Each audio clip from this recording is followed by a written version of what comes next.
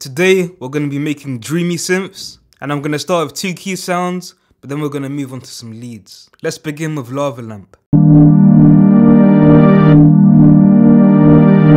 Start with a saw, remove some highs, make the filter open up.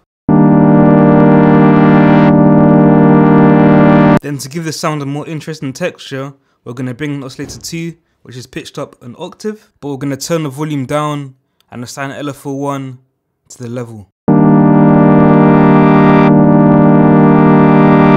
To make the synth sound dreamy, we're going to add chorus and a reverb. And I've reduced the spread to make it a bit narrower.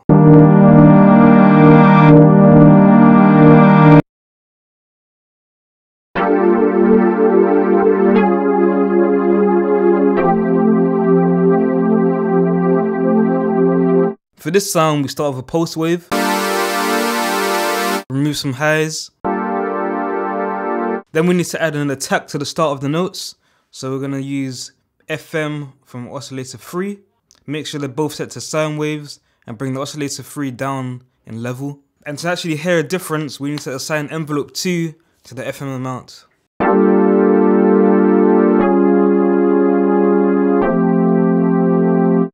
I'm also going to assign this to the filter for some extra highs. And we're going to add some movement to the filter with LFO1.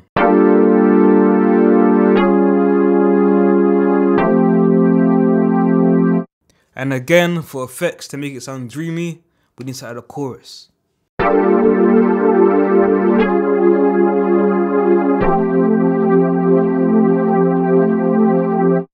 Our first lead is from Summertime High Time.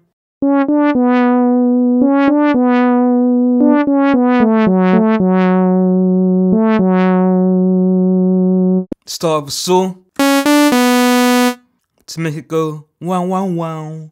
Add envelope 2 to the filter and make sure you increase the attack.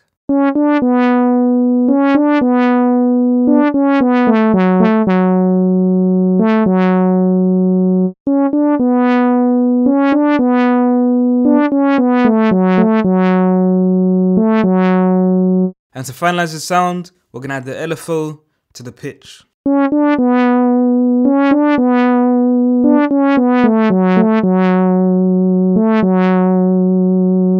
And our next lead is from Winter's Ballad.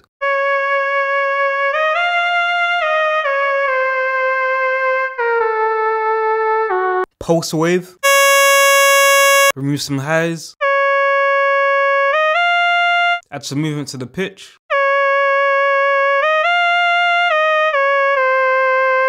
Reverb, and glide.